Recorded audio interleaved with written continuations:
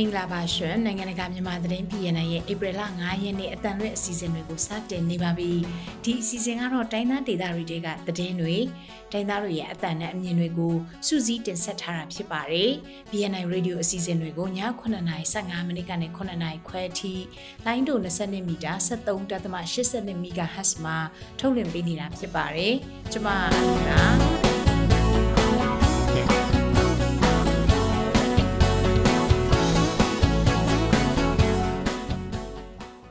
ဒီနေ့သတင်းတွေထဲမှာတော့ရှမ်းပြည်နယ်တောင်ပိုင်းစီဆိုင်ဟိုပုံနဲ့ပင်လောင်းမြို့နယ်တွေထဲမှာတိုက်ပွဲနှစ်လကျော်ကြာကာလတဲ့အရက်သားတေဆုံးမှု55ယောက်ရှိသွားပြီဖြစ်ပါတယ်။ကချင်ပြည်မိုးမောင်းမြို့နယ်ကြောက်စခန်းရွာမှာစစ်ကောင်စီတပ်နဲ့ KIA ပူးပေါင်းတပ်တွေအကြားတိုက်ပွဲပြင်းထန်နေပါတယ်။သတင်းလွှာတွေထဲမှာတော့မြစ်ကျနာမန်လေးလမ်းပိုင်းပိတ်တော့ကားတွေဘလိုမျိုးအခက်ကြုံနေကြပါသလဲ။တကြံအပီးမြစ်ကျနာမှာနိုင်ငံကူးလက်မှတ်လုပ်မယ်ဆိုရင်ဘာတွေယူသွားဖို့လိုအပ်မှာလဲ။ပူပြင်းတဲ့ရာသီဥတုဟာမွန်ဒေသကစစ်ပေးရှောင်တွေအပေါ်ဘယ်လိုမျိုးတက်ရောက်နေပါသလဲဆိုတာနဲ့မွန်ပြည်နယ်မှာတကြံပွဲဖြစ်ဖို့ဘသူတွေစီကနေငွေတွေကောက်ခံနေပါသလဲဆိုတာတွေကိုနားဆင်ရဖို့ရှိပါတယ်အခုတော့သတင်းတွေကိုကျွန်မနဲ့အတူစိုင်းမင်းကနေတင်ဆက်ပြီးတော့မှာပါရှင်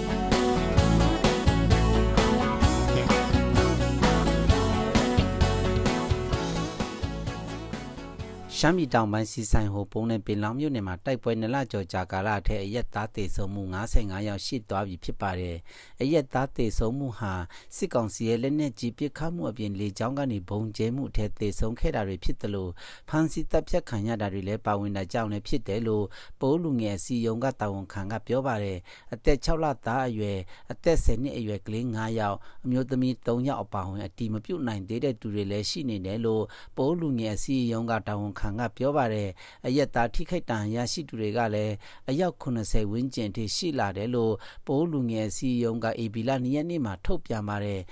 ကချင်ပြည်မိုးမောင်းမြို့နယ်ကြောက်စခန်းရွာမှာစစ်ကောင်စီတပ်နဲ့ KIA ပူးပေါင်းတပ်တွေအကြားတိုက်ပွဲပြင်းထန်နေပြီးစစ်တပ်ကနေရက်ဆက်တိုင်းလေကြောင်းအပြင်လက်နက်ကြီးတွေနဲ့ပါပစ်ခတ်နေလို့နေအိမ်အများပြားမီးလောင်ပျက်စီးသွားတယ်လို့ဒေသခံတွေကပြောပါတယ်။တိုက်ပွဲကြားမှာပိတ်မိနေတဲ့ပြည်သူတွေကတော့ရွာကနေဒီနေ့တောက်ကြမနက်ပိုင်းမှာပဲထွက်ခွင့်ရခဲ့ပြီလို့ဆိုပါတယ်။ကြောက်စခန်းရွာနာမှာမနေ့ကစပြီးနှစ်ဖက်တိုက်ပွဲပြင်းထန်နေပြီးစစ်တပ်ကမိုးမောက်ဘက်ကနေလည်းလက်နက်ကြီးတွေနဲ့ပစ်ကူနေတဲ့အပြင်လေကြောင်းကနေပါပစ်စ်ခတ်နေတာပဲဖြစ်ပါတယ်ကရင်ပြည်နယ်မြဝတီမြို့နယ်တင်ကန်းညီနောင်နဲ့အနီးပတ်ဝန်းကျင်နေရာတွေကိုမနေ့ကမနေ့အစောပိုင်းကစပြီးစစ်ကောင်စီဘက်ကလေးနဲ့အဆက်မပြတ်ဘုံကျဲတိုက်ခိုက်နေတယ်လို့နေမြေခံတရင်ရင်းမြစ်တွေကပြောပါတယ်စစ်ကောင်စီတပ်နဲ့ KNL တော်လိုင်းရေးပူးပေါင်းတပ်ဖွဲ့တို့ရဲ့မတ်လ9ရက်နေ့ကစတင်ဖြစ်ပွားခဲ့တဲ့စစ်ရေးတိုက်ပွဲတွေဟာအေပီလာ4ရက်နေ့အထိတလနီးပါးကြာနှစ်ဖက်စစ်ရေးအခြေအနေဆက်လက်ပြင်းထန်နေဆဲဖြစ်တယ်လို့တရင်ရင်းမြစ်တွေကဆိုကြပါတယ်အေပီလာ3ရက်နေ့တင်ကန်းညီနောင်အနီးဝိရှမ်းရွာ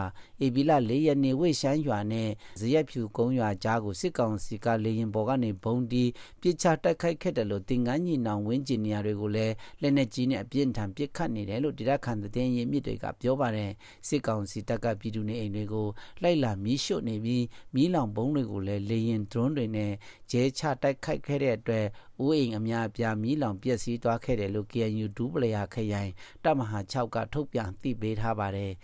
ရှန်ကရနီနယ်စပ်မိုးပြဲမှာတိုက်ပွဲပြင်းထန်နေပြီးစစ်ကောင်စီဘက်ကလေကြောင်းကနေပစ်ခတ်နေတယ်လို့ကရနီမျိုးသားများကာကွယ်ရေးတပ် KNDF တည်င်းနဲ့ပြန်ကြားရေးတာဝန်ရှိသူတာအေဆိုးကပြောပါရယ်ဧပြီလ3ရက်နေ့ကစပြီးဒီနေ့အချိန်ထိတိုက်ပွဲတွေဖြစ်ပွားနေဆဲဖြစ်ပြီးအခြေအနေအသေးစိတ်ကိုတော့ပြောလို့မရသေးဘူးလို့သူကပြောပါရယ်တိုက်ပွဲထဲမှာတော်လိုင်းရေးတပ်ဖွဲ့တွေဘက်ကအကြအဆုံးတွေရှိနေတယ်လို့မြေပြင်သတင်းအရင်းမြစ်တွေရဲ့ပြောပြချက်တွေအရသိထားပေမဲ့အသေးစိတ်အချက်လက်တွေကိုတော့မရရှိသေးပါဘူး။ရိုက်ကော်မြို့တစ်လေးလုံးစစ်စင်ရေးနဲ့တဆက်တည်းမိုးပြဲမြို့မှာလည်းတိုက်ပွဲတွေဆင်နွှဲနေပြီးစစ်ကောင်စီရဲ့တပ်စခန်း၈ခုထပ်မင်းကိုတော်လှန်ရေးတပ်ဖွဲ့တွေကသိမ်းပိုက်ထားတဲ့မြို့ပဲဖြစ်ပါတယ်။ဒါအပြင်ဖားဆောင်မြို့နယ်ဘက်မှာလည်းတိုက်ပွဲတွေဖြစ်ပွားနေပြီးစစ်ကောင်စီရဲ့လေကြောင်းတိုက်ခိုက်မှုတွေကြောင့်ထိခိုက်ဒဏ်ရာရတဲ့သူတွေလည်းရှိနေတယ်လို့ဆိုကြပါတယ်။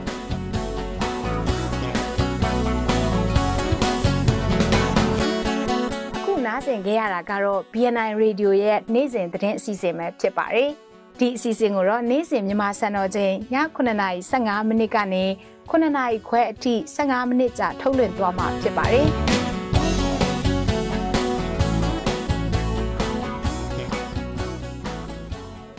ခုအခုဆက်ပြီးသတင်းလွှာတွေကိုတင်ဆက်ပေးသွားမှာပါမြစ်ကျနာမန်လေးကားလမ်းပိုင်းပိတ်ထားတာကြောင့်ကုန်ကားနဲ့ခီးတဲ့တင်ကားရာနဲ့ချီပြီးပိတ်မိနေတယ်လို့ခီးသွားပြည်သူတွေကပြောကြပါတယ်အသေးစိတ်ကိုတော့ကချင်သတင်းဌာနကအခုမတွဲကသတင်းပေးပို့ထားပါတယ်ရှင်မြစ်ကျနာမန္တလေးလမ်းမပေါ်မှာရှိတဲ့ Skyline ဒေသကြီးကမ်ဘလူးဇင်းရွာမှာစစ်ကောင်စီတပ်တွေနဲ့ PDF တပ်တို့အကြားတိုက်ပွဲပြင်းထန်နေတာကြောင့် မတ်လ30ရက်နေ့ကစပြီးဒီနေ့အထိကားလမ်းပိတ်ထားတာဖြစ်တယ်လို့ PDF တပ်ဖွဲ့ဝင်တူက KNG ကိုပြောပါတယ်ပိတ်ထားတာအဲကမ်ဘလူးနယ်ထဲမှာပိတ်ထားတာကမ်ဘလူးနယ်ထဲမှာပိတ်ထားဆိုတော့ဟိုမန္တလေးဘက်ကနေမြစ်ကြီးနားဘက်တက်လာမဲ့လူတွေလည်းဟိုသွားလို့မရဘူးမြစ်ကြီးနားဘက်ကနေဒီမန္တလေးဘက်ဆင်းမယ်ဆိုလို့ရှိရင်လည်းဖြတ်လို့မရဘူးပေါ့အမှဇင်းမှာပိတ်ထားတာဆိုတော့ဟိုတိုက်ပွဲတော့ဖြစ်တယ်ဖြစ်တယ်ဒီ30ရက်နေ့ကပေါ့မတ်လ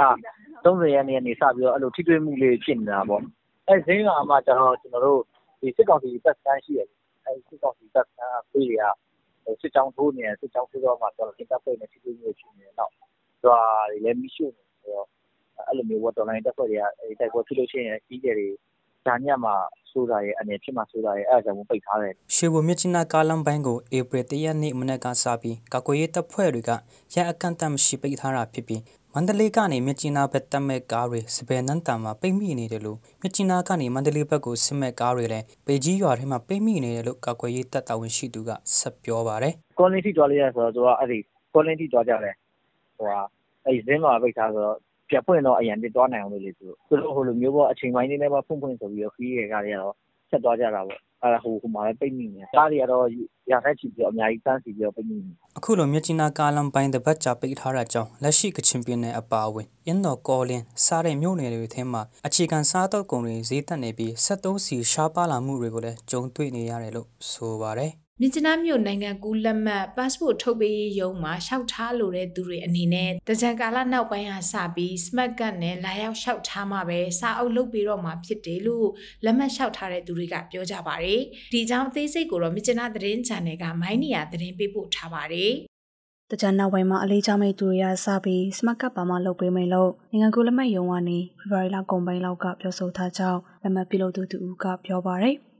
အေးစမကတ်လုံးရာရေလို့စမကတ်လုံးမရှိကလို့စမကတ်ပါမှာလုတ်ပေးကြတာဟုတ်တယ်စမကတ်မပုံတင်အိမ်ထောင်စုအဲ့ဒီသုံးမျိုးပဲလိုတယ်တခြားထောက်ခံစာတွေတော့မလိုဘူး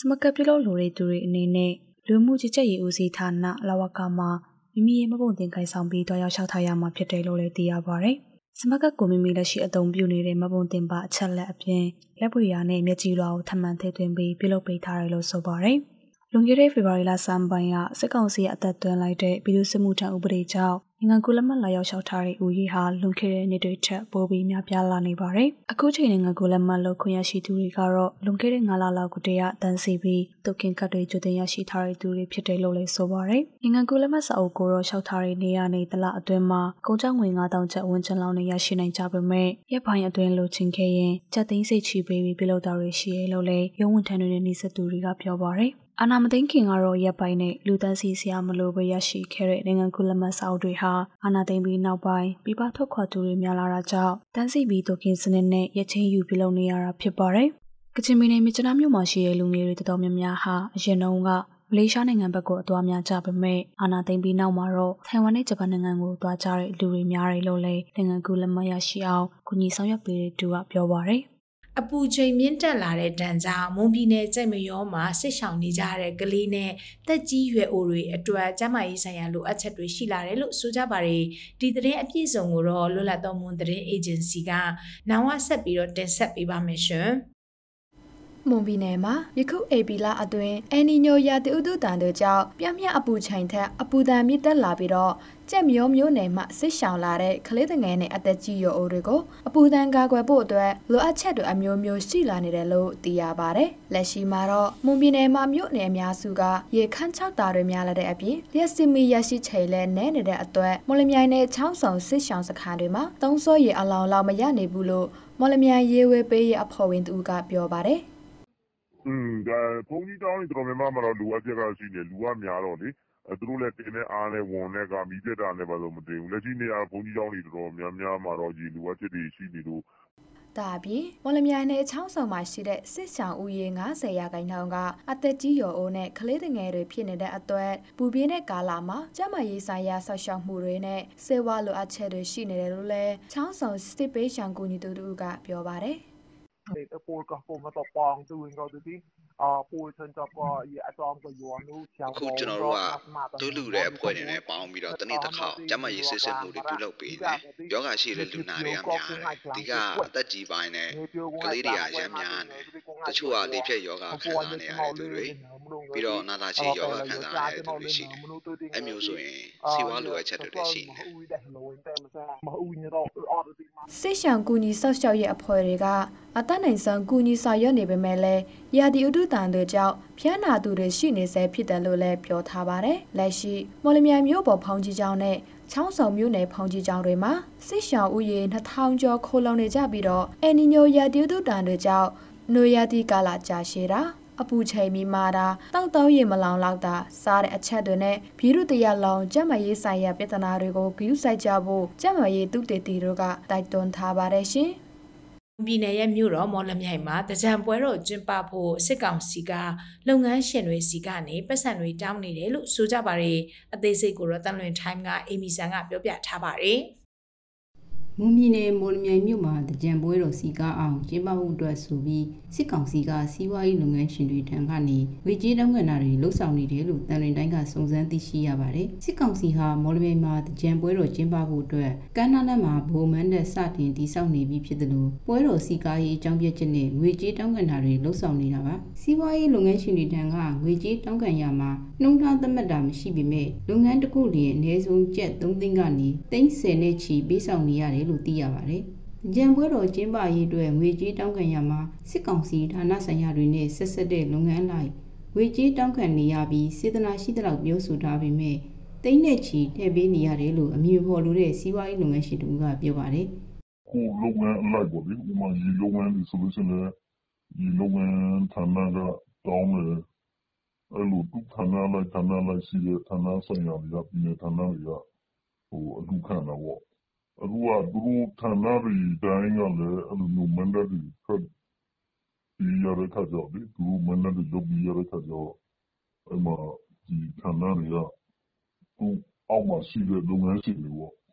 သူဌာနမှာသူဌာနအောက်မှာရှိတဲ့ လုပ်ငန်းရှင်တွေကိုအထူးခံတော့ပေါ့ အဲ့လိုတော့ လုပ်နေတာ သူကတော့အာစဉ်းစားရှိသလောက်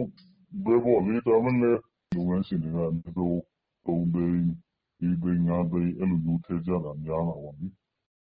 အရင်နှစ်တွေက စစ်ကောင်စီဟာ စီးပွားရေးလုပ်ငန်းရှင်တွေနဲ့ ကုမ္ပဏီတွေကို PR ပြီးကမနဲ့စောက်လုပ်ခိုင်းခဲ့ပြီးမြဲဒီနှစ်မှာတော့မန်နဲ့ဆောက်လုပ်ဖို့အတွက် PR ပြီးလာတာတော့ မရှိဘူးလို့ သူက ဆက်ပြောပါတယ်။ဒါပေမဲ့ဒီနှစ်မှာတော့ကြံပွဲတော်စီကားအောင် စစ်ကောင်စီလက်အောက်ခံ ဌာနဆိုင်ရာတွေဥဆောင်ကဌာနဆိုင်ရာမန်တဲ့ဆောက်လုပ်ခိုင်းထားပြီး လုပ်ငန်းရှင်တွေကတော့ အနောက်ကနေတောက်ပံ့ပေးခိုင်းထားတယ်လို့ သိရပါတယ်။ တကြံပစ္စည်းရောင်းချနေသူတို့ကတော့စစ်ကောင်စီကတကြံပွဲတော်ကို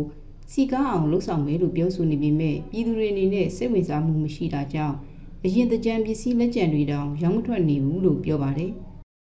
ညီမတို့ဆိုလို့ရှိရင်ပစ္စည်းတွေအရင်တွေးနေပြီအင်ကြီးကအစားတစိတ်ဘလို့ရိုင်းမလဲဟိုပေါ့နော်အလားကုန်နေဒါတွေကအစားတကြံတော့ဘလို့ပေါ့အဲ့လိုမျိုးတွေတွေးနေပြီတကြံပစ္စည်းတွေပေါ့ကာဗာလုံးမဲ့ဟာလေးပေါ့နော်အဲ့လိုတွေကညို့လုံနေပြီပေါ့ဟို မနစ်ကဆို ဖုန်းရေးဆိုအဲ့ဒီဟို လက်ကျန်လေးတွေ ထုတ်ရအောင်အရင်ကျွန်တော်တို့ကျန်လို့ နည်းနည်းလေး ထုတ်ရအောင်တော့လုံးဝမရအောင်ရအရင်ဟိုးရင်ကာလာတွေဆိုလို့ရှိရင်ပေါ့နော် အာအနာမသိရင်ကာလာဆိုကျွန်တော်တို့အဲဒီဖုန်းရေးဆိုအဲ့ဒီပါလေဆို ထောင်နဲ့ရောင်းရထောင်နဲ့ကြည့်ပြီးတော့ရောင်းရတာ အခုကကြတော့ မနစ်ကအဲ့လက်ကျန်လေးပါလေးကိုပဲ ကိုရှိမှာပဲ ကိုထိုက်တာဟာ မထွက်ဘူးပေါ့ စစ်ကောင်စီခန့်မွန်ပြည်နယ်ဝန်ကြီးချုပ်ဦးအောင်ကြည်သိန်းကလည်းမော်လမြိုင်မှာတကြံပွဲတော်စီကားအောင်ကျင်းပဖို့ကဏ္ဍလိုက်ကြိုတင်ပြင်ဆင်မှုတွေလှုပ်ဆောင်ထားဖို့နဲ့တကြံပွဲတော်အောင်မြင်အောင်ကျင်းပဖို့ပြီးခဲ့တဲ့မတ်23ရက်နေ့ကပြုလုပ်တဲ့အစည်းအဝေးအတွင်းညွှန်ကြားခဲ့တာပါတကြံပွဲတော်ကျင်းပဖို့စီစဉ်ထားတဲ့မော်လမြိုင်မြို့မှာတော့စစ်ကောင်စီဘက်ကမြို့အဝင်ထွက်နေရာတွေမှာလုံခြုံရေးတိုးမြင့်ထားသလိုနေ့စဉ်နဲ့မျှပိတ်ဆို့ရှာဖွေဖမ်းဆီးတာတွေ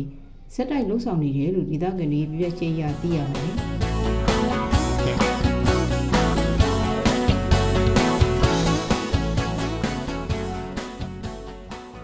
နားဆင်ခဲ့ရတာကတော့ BNI Radio ရဲ့နေ့စဉ်သတင်းအစီအစဉ်ပဲဖြစ်ပါတယ်။ဒီအစီအစဉ်ကိုတော့နေ့စဉ်မြန်မာစံတော်ချိန်ည9:15မိနစ်ကနေ9:00ခွဲအထိ15မိနစ်ကြာထုတ်လွှင့်သွားမှာဖြစ်ပါတယ်။နားဆင်ပေးကြတဲ့အတွက်ကျေးဇူးတင်ပါတယ်ရှင်။